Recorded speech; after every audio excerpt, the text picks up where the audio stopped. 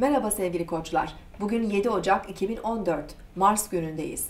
Bugün ay sizin burcunuzda ilerliyor. Kendinizi çok canlı, enerjik ve girişken hissedebilirsiniz. Ancak ilişkiler konusunda dikkatli olmalısınız. Sabırsız ve ani tepkiler nedeniyle gerginlik ve huzursuzluklar oluşabilir. Karşınızdaki kişilerin e, bazı davranışları ya da e, agresif tavırları bugün sizi biraz zorlayabilir. Sakin kalmaya çalışın. Burcunuzu dinlediniz. Bugün 7 Ocak 2014. Mars günündeyiz.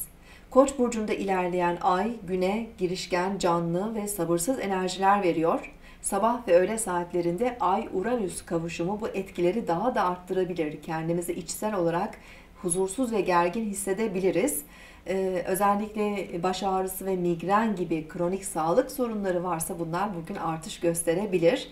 Öğleden sonraki saatlerde Ay Plüton'la kare açı yapacak ve ardından Mars'la karşıt açıda olacak. Ee, özellikle ilişkiler konusunda denge bulmamız bugün zor olabilir. Ani tavırlar ve duygusal tepkilerden kaçınmalı, sakin ve sağduyulu davranmalıyız. Özellikle önce grup koç, yengeç, terazi ve oğlak burçları bu etkileri üzerlerinde daha yoğun hissedebilirler. Yarın tekrar görüşmek üzere. Hoşçakalın.